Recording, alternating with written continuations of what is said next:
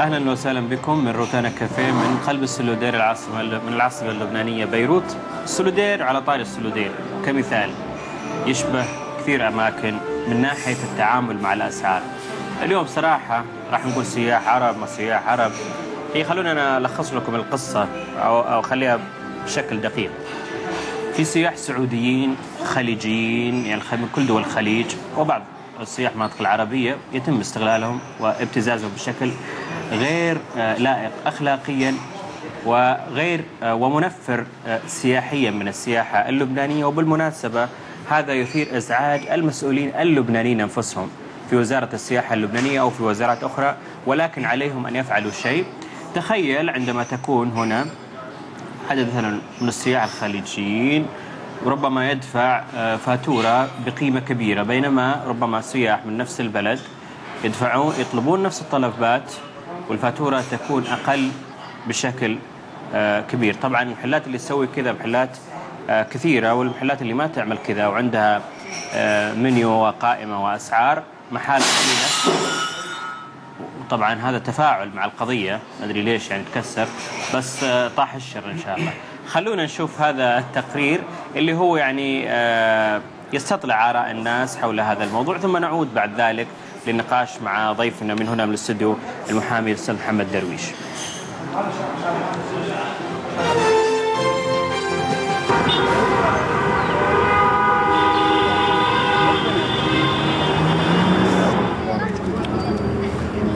خبرنا هيك عن وجودك ببيروت شايف الأولاد كثير مبسوطين كمان والله أنا جاي عشان أبسطهم بس أه يمكن انبسطتهم بس هل كانت الأسعار على ذوقك؟ لا ولا حاجة الحقيقة على ذوقي. ليه؟ لأنه أي حاجة بدفع قيمتها لابد لها قيمة. ما في شيء يعني ما في ترانسك الحقيقة بين القيمة اللي بدفعها وبين الخدمة اللي بآخذها. يعني عملية استغلال لا أقل ولا أكثر بس. برأيك شو السبب؟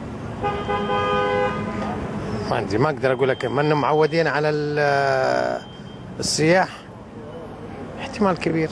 ممكن هذا الشيء يأثر على على زيارتك مرة ثانية لبيروت؟ لا هذه ثالث رابع خامس مرة. ممكن تعيدها؟ ممكن بعيدة بس ماني ماني مطمئن الحقيقة. والله في وايد وايد غالي وفي تلاعب في الأسعار. في تلاعب في الأسعار من المطار بالتكاسي. السايح ما يعرف. يعني نحن انغشينا امبارح الصراحة. خبرنا كيف؟ أه، سعر التاكسي داخلي أصلا من المطار لأن الفندق تقريبا 10 دولار. وضرب علينا يعني خمس ضرب علينا 40 دولار هو. فمو بهذا السعر يعني سعر السوق. لما تخبرنا أنا خبرنا أصحابنا قالوا مش هالسعر يعني الأصلي. طيب خبرنا المطاعم كمان عم بيكون في تلاعب بالأسعار أو في تلاعب في تلاعب. لما إحنا كسواحي لما يجينا نحاسب سعر المطعم أنت تعطي دولار. لما يرجع لك يرجع لك دولار وليرة. فتطلع ناقص السعر يعني ما يعطيك المبلغ كامل. فالشخص اللي عارف الأسعار يعرف الحساب. فنحن ما عرفنا بعد خدعنا بس دخينا الريال هذا. بس كل منطقة لها سعر شكل يعني. يعني مثلا هون بسردير أسعار شكل تروح على الاشرفيه أسعار شكل تطلع على الحمراء أسعار شكل يعني. أي كل منطقة لها سعر شكل يعني. ما يمكن سوليدار أغلى شيء. يعني هون تقريبا أكثر شيء هون. الشيء اللي تضايق منه شوية موضوع البخاشيش يعني. لازم تمشي لك 100 دولار هني 100 دولار هني 100 دولار هني. ساعة 500 دولار. هذا من غير العشاء. طيب شو السبب برأيك؟ ما أعرف صراحة. قالوا لنا شي لبنان. قالوا لنا لبنان هيك يعني. سوري طيب صريح معك. طيب خبرنا هيك لبنان بيعجبك هيك لبنان؟ آه لا طبعا. طبعا لا. ليه؟ يبغى يكون مثل أي مكان عادي يعني. تدخل أي مكان بدك فيه تقعد يعني. ما تلقى تشوف طاولات فاضية يقول لا ممنوع تقعد. لازم. قد إيه دفعت اليوم بسوليدار؟ يعني تقريبا 500 دولار. بس العشاء. 500 دولار بس العشاء بس العشاء وغير التبس اللي ياخذه الموظف. قد إيه دفع التبس؟ 100 دولار. حق واحد. حق الموظف اللي يشتغل في الكوفي. ولا ما يقول لك في طاولات فاضية يقول لك ما تقدر تقعد. فول. إذا قل له حط اسمي في اللسته يقول لك ما عندي. يعني لازم تدفع عشان تقعد على الكوفي. بس حرام. 100 دولار حق الموظف. و300 دولار حق الطعام. هاي 500 دولار راحن. 400 دولار. ما تأكدتوا من الفاتورة أو من المنيو اللي بين ايديكم لا في مثلا يقول كل كل شخص 50 دولار 50 دولار 50 دولار مثلا. يعني ماكسيموم 50 دولار. وفي آه، هو تعرف لو في رقابة سياحة في هالبلد تمشي على طول. يعني رقم مثلا واحد يقدر يتصل يشتكي مثلا. بس بلد جميلة. صديقك عم بيقول بلد جميلة وبالرغم من ال 500 دولار اللي انت دفعتهم اليوم بقلب سوليدير بعدها بلد جميلة؟ إيه طبعا. أنا ما عندي مانع أدفع بس اني انبسط يعني.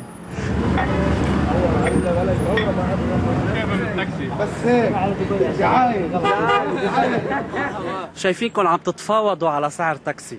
إيه. مزبوط ولا لا؟ مضبوط خبرنا. اسعار التكاسي والله غالية وكل يوم كرامية. لا وزنه بلا كراميه خلينا نسوي مقابلة مع هاي خلينا نسوي مقابلة مع السواق آه هيدا السواق اللي اجى ياخذ نعمل معه مقابلة مم. لا عمل لك عطنا بسوي معه مقابلة مم. سمع. مرحبا أحمد كيفك؟ شو عامل؟ لا بدنا بدنا نعمل معك مع- مقابلة ليه الأسعار غالية في بيروت هنا عندكم؟ الأسعار غالية إيه آه شغلة بتلعب ال- شغلة بتتعلق بالتي في آ أول شغلة وما في رقابة. غلطان. انت ورح كله لبناني. انت ورح ابدا عن أنا أنا شفت والله الاستغلال وايد في لبنان. تكاسك تكاسك حتى مقاهي في وايد استغلال.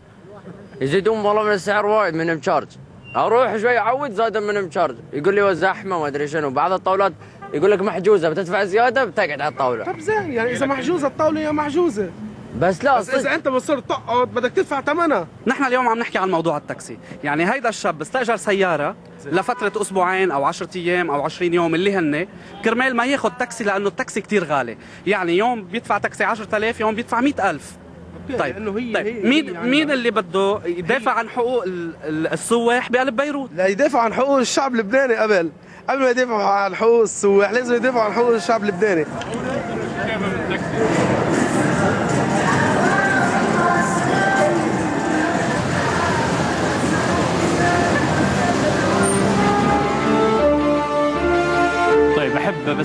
بس أشكر زميلي ربيع حيدر على هذا التقرير وأحب أنوه إنه هذا التقرير انعمل في مراحل آه، مختلفة من فترة الصيف هذه اللي راحت. آه، طبعا للوقوف عند هذا الموضوع والاستفسار حول ما يتعرض له السياح آه، من تهرب أصحاب المؤسسات من رقابة آه، حماية المستهلك. نستضيف معنا في روتانا كافيه محامي جمعية حماية المستهلك الأستاذ محمد درويش. أهلا وسهلا بك. وأحب أنوه بس قبل لا نبدأ إنه أحد سائق التاكسي اللي عملوا مع لقاء قال إنه عندنا TVA الضرائب. هو صراحة ما له علاقة. لا التاكسي طبيعي ما له علاقه ما له علاقة. بس أيضا هناك كذب يعني واستغفال لهذا السائح. بس هيدي ما فيك تحصرها بس بلبنان أنتوا أنتوا إيش دوركم؟ أنتوا كحماية مستهلك؟ نحن كجمعية حماية المستهلك إيه. بنراقب المطاعم. يعني نحن منا تابعين للدولة. نحن جمعية غير حكومية. آه عم نتابع كل الشكاوى السياح اللي عم توصلنا. لحديد هلأ تقريبا وصلنا شي 40 شكوى هالشهر. عم نتابعهم وعم نلاحق ال- المحلات اللي عم تحاول تستغل أو تغش السائح واللي ما عم نقدر نوصل معه لنتيجة عم بتتحول دغري. لوزارة ال- الاقتصاد بمديرية حماية المستهلك. طيب.